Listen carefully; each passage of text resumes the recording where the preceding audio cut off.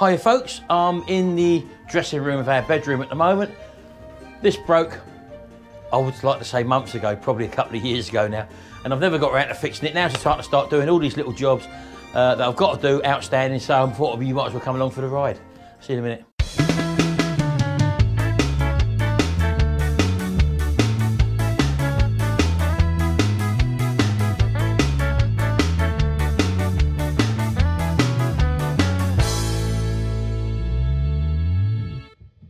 Well as you can see, the hanger come down on this dressing room. We don't really use this room for anything in specific, although it is a dressing room. But uh, we have got an exercise machine here, one of those steppers uh, machines. You probably can't see that, it's out of shot. Over here, as you can see, I've moved it away it's normally under the window there. So um, that's why that's sitting here at the moment. So let's get ahead, drill a couple of holes here, get some uh, raw plugs in the holes and fix that curtain rail back. Right, I think this room needs a bit of an extra paint out as well there. Um, Oh, look at that. Look, just balancing on the, on the centre one. So let's just get that in there. Yeah, we will be giving this room a bit of a paint out, so I'm not too worried about it on the wall there, like that. Let's just have a little look where we are. Now, these were tiny screws that was in there originally, so I've gone for a bit more beefier screw, so I'm just going to drill these original raw plugs out, which they are quite... Oh, I'll put that on the hammer.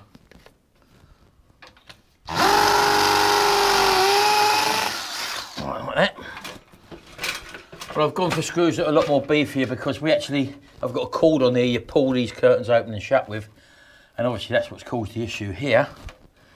So I'll just tap that into the hole.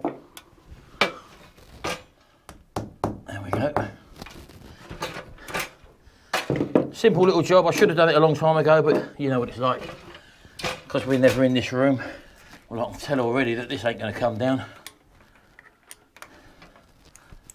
a lot of people say, oh, why don't you get one of those screwdrivers that whack them in the wall? Well, when you're going into raw plugs and fixings like that, it's very easy to strip a plastic raw plug out, so I tend to like doing it by feel, so I know that it's not going to come down again. And I know that by feeling that, that that's not going to come down again. Oh no, here we go, it can go up. There we go, there we go, there we go, look at that. Now that ain't coming down, I know that much. I'll just put the other end in go over here, just check this end's in. I think this end's sticking out, you see. In fact, these you can probably do with better ones, but there's no pulling down on this side, you see. There's no cables. And that's that. I think that's it. Let's get out of the way. Oh, let's come down now. Look, at the corner clips. Oh, here we go. Oh, there's something in there. Hang these clips up on these hooks here. Okay, that's that. Okay, that's it. Right, let's get that out of the way. And now we should, be able to open the curtains again. That's all Jimmy's rubbish out there, look, from his unit, which we've got to probably burn. So, there we go, happy days. Now, how long did that take? It didn't take me long, did it? She don't know I've done that today, but uh, I've started. right, okay. So I'm in the ensuite at the moment and uh, We've got trouble with these taps. They've corroded so badly. We've got very hard water around here that they've all corroded up and stuff like that. And it's very hard to turn them off and turn them on. So um, I've got some cheap ones. This has all got to be replaced at some stage. This is one of those Whirlpool baths. We don't really use it. So, um, yeah, but for the moment, we're just going to replace these taps so that we can use this properly. I did get a cheap pair from B&Q yesterday for 20 quid. So just remove this bath panel here. Should be simple, yep. I'll put this fixed at the bottom, innit? Yeah, it's going to be in it. Yeah, there's a screw in there. Always isn't there. As I say, it's a very old system, this, and uh, it could do with replacing. It's been in here since we've lived in the house, and it's uh, 19 years now, or 20 years coming up this year. Okay, that's one out. Would be one the other end and all, wouldn't there? Bear with me. Right, okay. No doubt behind here is where all the big spiders live. uh, can't see any at the minute, but we have seen them go down the side there many a time. Let's put that down there, put them two little screws on the shelf. Right. Ah, oh, okay, I thought they was half inch pipes. They're 15 mil that supply this, and no doubt there's no valves there either. As you can probably see, that one's a 15 mil, I think the other one might be half inch though. yeah, the one at the back there is half inch or 22 mil. So that one's 15 mil and the other one's 22 mil. Very hard to get to. Oh, and as I say, there's no valves in situ either. I can isolate the hot tap from the airing cupboard and uh, the cold tap probably comes from the water tank.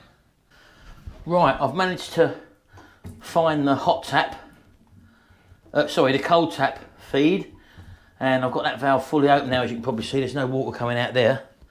And let's just show you what I'm up against down here. Right, okay. Here's our cold pipe in, as you can probably see, that's the one I've just turned off.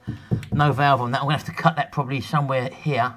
Ideally, I'd want an inline valve, one with a little screwdriver slot, but I've just found that up in the loft and I thought, well, well I've got it, I might as well use it. So I can whack that, hopefully, in there like that. But the main problem is the one at the back there, which is the hot water tap. I've got no access to whatsoever. What they probably did, they probably tightened up these unions first with a bit of pipe in there and dropped the bath in place and then just soldered that joint up down there while the bath was in situ. That's what I suggest they've done there. Never easy to get into these situations. Don't forget I've got to get uh, another valve in that hot pipe there as well. I'm not too sure where that valved off at the moment.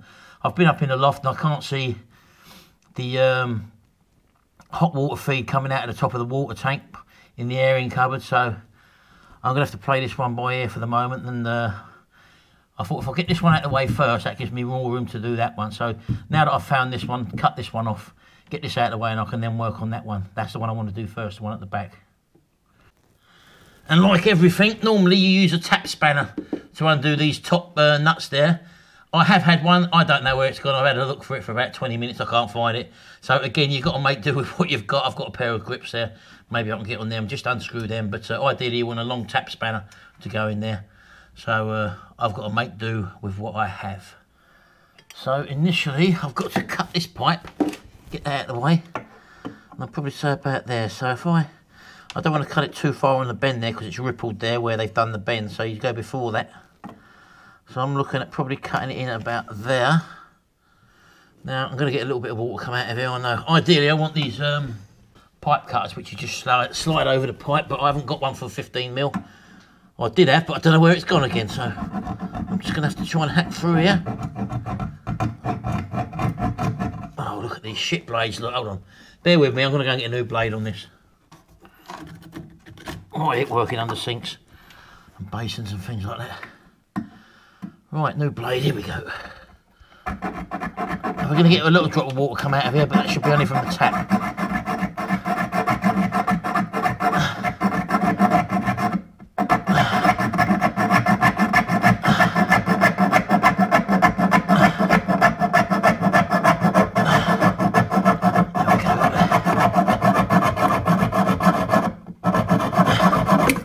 Right, there we go, that's through there. Now what we've got to try and do is to get that, uh, let's get that down there, bloody thing keep popping up, is to undo this nut on the top there. I've got these five holes, pipe wrenches as people call them, and we've got to undo this. I've got no, I can't grip you see because I can't get my hands in it. Oh, getting a bit of turn on there.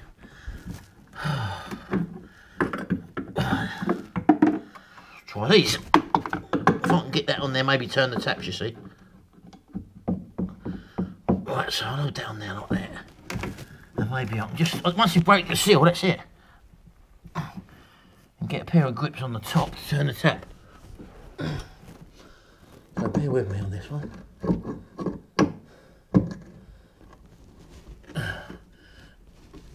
Ah, oh, there we go. Just crack the tap then, I. Crack the joint on the tap. Once we've done that, we can uh, hopefully undo it.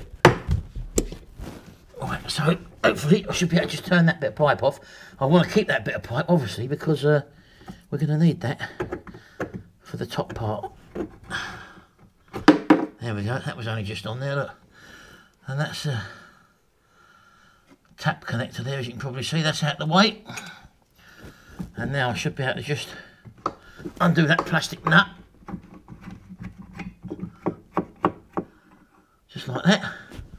Come over to the top and Hey presto, you can see how bad they were. Look, let's get them under the light there, look. How corroded they was. But the reason why I haven't changed these before is because it's so awkward as you've just blinking seen there. That's the easy one out of the way. Right, so I won't bore you with getting the other one out. It's going to be pretty much the same. Although this one I haven't found the valve for at the moment, but uh, I'll get over that. And uh, then we'll get on to installing them. So I'll see you in a minute. Right, okay, I'm uh, out here in the hallway. This is the immersion heater on this type of system. It's an old system. It's got the old cold water feed tank in the roof. It's not a combination boiler, anything like that. But what happens is, there's the bottom of the tank there. You always fill a tank at the bottom, so any cold water feed to this tank comes in from the bottom there. That terminal there, that pipe coming in there, it's got a coil going all the way around and it comes out and goes back out there and back up and that goes to the boiler. So the hot water in here is a sealed system. Inside the water jacket there's a big copper coil, comes out there and goes to and from the boiler. So that's how that works. Cold water comes in at the bottom of the tank, always at the bottom of the tank from the cold water storage tank up in the loft. And the hot water, if you can probably see there, comes out of that top pipe and then goes and gets distributed around the house to your hot taps everywhere. But as you can see, there's no hot valve, there's no valve in there, so I can't actually turn that off. If I could have just turned that off, the hot water would have stopped coming out of the taps. So the next stage is to go up into the roof and look where the water tank is uh, and coming out of the water tank, the one that comes out down to feed this, be to turn that valve off. Well, there's no valve there either. So we've got a hole full of tank of water, which when you turn the hot tap on, the water starts to drop down into the water tank, the ball valve drops down and lets more water in. So it's a continuous cycle. So the only other way I could do it was to tie the ball valve up, hold it up physically, so that when the tank empties, once I drain the water off of this by leaving the taps on, which is what I'm doing now, look, as you can see there, once that stops running, that means the cold water pipe that feeds it has got no more water coming into it because I've tied the ball valve up and that means the tank's emptied upstairs. And also that means because there's no pressure pushing the water up in the tank and pushing it out and up via the outlet there at the top because hot water outlets are always on the top of the tank because as I just said to you, heat rises, hot water rises to the top of the cylinder, and that's the reason why that'll always be the output of the tank. This is what happens when you've got no valves. So coming up to the loft here, you can see that tank, what I was telling you about, the hot water, uh, the, sorry, the cold water storage tank, which feeds all your taps in the hot water cylinder. The one next to it is for the central heating. That's the little makeup tank for the central heating and the central heating only. This one here, now as you can see, I've had to tie the ball valve up and the tank's getting really low now, as you can probably see. I can't see, hold on. yeah, we're nearly there now. And if I didn't tie that ball valve up, that tank would be continually filling and uh, we'd never turn the supply off. So I physically had to hold that ball valve up with a bit of wire there and just put a bit of support over the top there so the ball valve don't drop and start filling. And as I say, this goes right down into the airing cupboard, into wherever it picks up a supply. And there's no valves on it whatsoever. Happy days. So just coming out of the loft, coming around here now, as you can see, we're down to a trickle now. And uh, just let that finish off. It's only the residual water in the pipes anyway, so I'm not worried about that. And that basically means that water cylinder is probably still full, but there's no pressure now pushing down that pipe into there to push water out. So there's no water pressure because you rely on that water tank, which is up in the loft, that pressure of the water, or the weight of it, pushing down to push the water out and through around your house. Modern systems are pretty much different than this. Uh, this is an old system, as I say to you, so uh, you're probably got a different system, but this is old buildings, old technology. Right, okay, so coming back in here, I should be able to turn this hot tap on now. Just let that residual water run out of the pipe. And that should be it now. Now don't forget, the only reason we've had to do it this way is because there's no valves at all in the lines. Whoever installed this was a rubbish plumber and they just haven't put any valves in. So I've got the situation now where that's basically empty. What I've got to do now is to um, cut that pipe, get that tap out and then we can start the installation. I may go down the road and buy an inline valve for the hot tap just be easier to install back there so you can operate it with a screwdriver. And that's where we are at the moment, so I'll see you in a minute. I've got you looking up. See you later. Alright, these are the taps that I've got. Uh, only cheap ones from B&Q. I wasn't going to spend a lot of money on them. I don't like this bit, but uh, there you go. And as you can see, they've got the same length of shaft on them. Uh, there, so we shouldn't have a problem matching up, and it's the same threads, obviously. And I've just bought, been down the road, and I've got one of our 22mm inline valves there, as you can see. Uh, I'm going to use that gate valve. I'm not going to spend them any money. I don't need to spend. But look at the size. You've got 22mm pipe. Look at the small hole they give you through the middle. Look. You'd think that'd be similar to the bore of the pipe, wouldn't you? There you go. So that's that. And I've just gone down and bought this adjustable uh, basin wrench there. As you can see, that enables you to um, tighten up. Where's that go around there? Should go sideways. It's a bit tight, isn't it? Oh, it's not going to fit, is it? Oh, I've got the wrong size. Look. Oh, lovely. Don't you love it, don't you? So that's for a basin, not a bath tap. Oh, God. Oh, well, I've got one of them now. I'll have to struggle, and if not, I'll have to get a bigger one. Never mind. Bought the wrong one. I'm going to use that. I'm going to need that anyway. I just realised because I've got my basin to do as well. There's hot water's not coming out of that tap. It's fully corroded up. Right, let's get under the sink then and cut off this pipe. And uh, I'll use a special tool for that. Right, I don't know how much of this you're going to be able to see. This is the uh, pipe cutter I've got here for the 22mm pipe. I did have one for the 15mm, but it's uh, disappeared. So all I've got to decide, if I can get in here, bloody, I've got toilet's right behind me as well, so I've got no room whatsoever here. Is where that valve's going to go. Probably put it lower rather than higher, and then decide where to put the tool. So I'm going to probably put it back there somewhere. And these have got a directional arrow on the rotation, and uh, you've got to turn it the way it says. It's telling me that way, so I'm just going to line that wheel up there, that cutting wheel up with that mark I've just made on that pipe. And these are designed, as I said to you, for uh, tight areas like this. And that goes in there like that. If I push that on there and then start to rotate it, can you see that? It will start to cut through that pipe without any sawing action whatsoever. There we go. Let's cut through it. Once it's cut through it, you'll get a bit of water run out there, obviously. But we know that uh, we're through. That's it. Just push it off. And we're through that pipe fully there. And I'm sure you'll agree that's a lot easier than doing it the other way. We're sawing it. And the ends are normally nice and ready to accept the valve. So I'm just going to undo that top clamp there, you haven't got to see that, and get that pipe out and then we'll take it from there. Right, okay. One other thing you've got to remember as well is when you've got these tap connectors, they have got a fibre washer in there.